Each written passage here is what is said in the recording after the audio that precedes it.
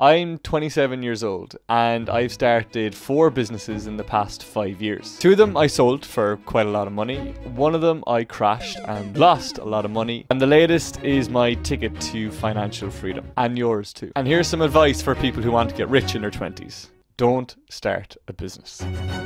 On the night of my 23rd birthday, I remember sitting in bed. no, not doing that thinking that I had almost everything I ever wanted in my life. I was just back from a year of backpacking, I had great experiences, and I had time.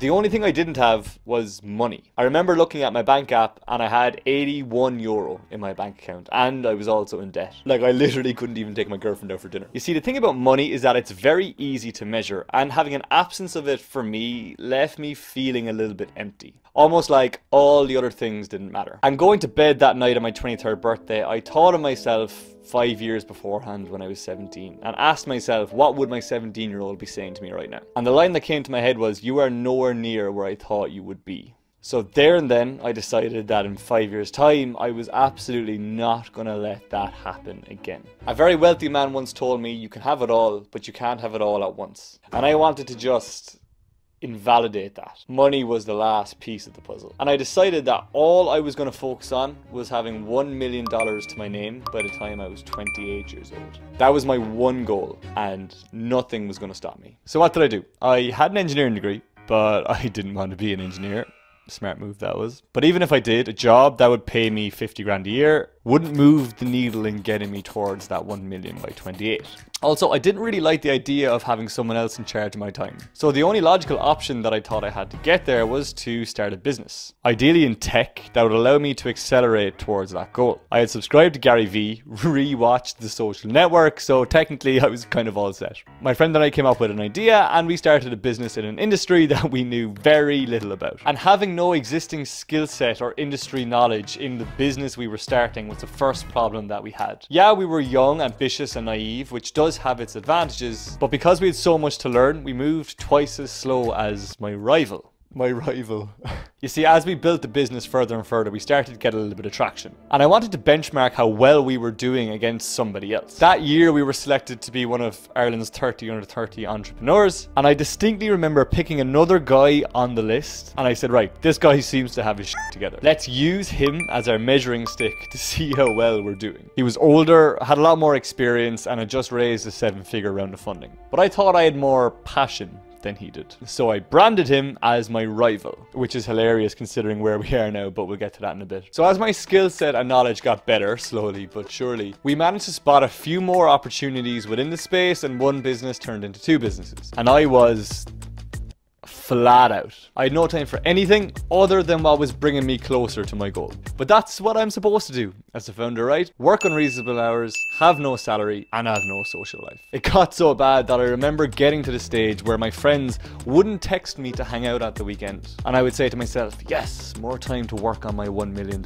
mission. Which, looking back, you know, is kind of an awful way to look at it. Not just because you're losing touch with your friends, but because time is an awful form of leverage when it comes to a business. And two years on from the same night I gave myself my $1 million mission, I completely and utterly burnt out on my 25th birthday. And when I say burnt out, I mean properly burnt out. I had permanent bruising underneath my eyes that are thankfully now gone.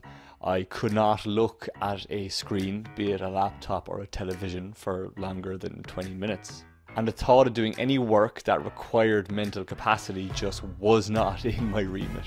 I know I'm smiling now, but it was terrible. And you know, with this came a major lesson. If time is your form of leverage for starting a business, that's your sign that you should probably build up a skill set or industry knowledge elsewhere before doing so. Because, like me, you'll be relatively ineffective, you will work way too much, and you'll burn out. Luckily, a few things were aligning for me at the time. It was during COVID, my businesses were in the education technology space, which was absolutely booming at the time, and I had a few people approach me to see whether they wanted to buy the businesses. And I saw that as my ticket out. I was Gonski, so I just sold them. Now, selling those businesses didn't quite get me to a million, but considering I was 25 and I still had three years to go, it was a decent step to getting there. But even after selling these businesses, it wasn't enough because when I was looking at my rival, he had just raised another round. This time, it was eight figures. So what did I do? I automatically put my money into building another business, a bigger business, more risk for more reward.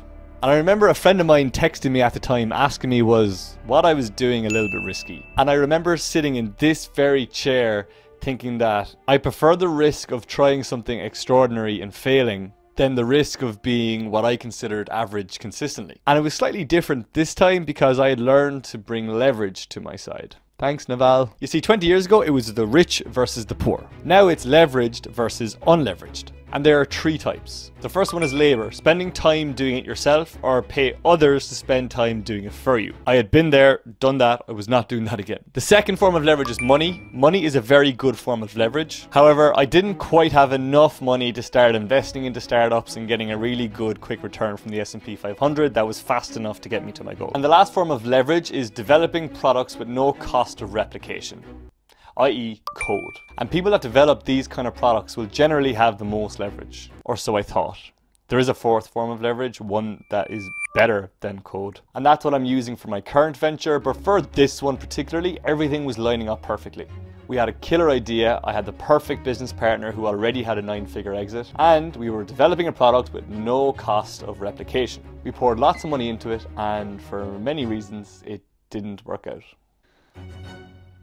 And this is where I really had to face my fears. I was kind of banking everything on this business. And when you compare it to the year previously, I was one year older, so one year closer to my 28 $1 million goal, and I was further away from getting there. And my rival, well, no joke, at the time, his business was literally valued at 10 figures. That's billions of dollars. And I was happy, weirdly. And it took me a long time to realize why I was feeling the way I was feeling. And it's because even though the business that I had quote unquote failed, and financially it didn't bring me closer to my goal, skill and knowledge wise, I had actually learned so much more from the business that I failed at than the businesses that I quote unquote succeeded at and obtaining this skill set and knowledge felt better than obtaining money. And the reason for this is that money comes and goes, but learnings and skill sets you'll have for the rest of your life.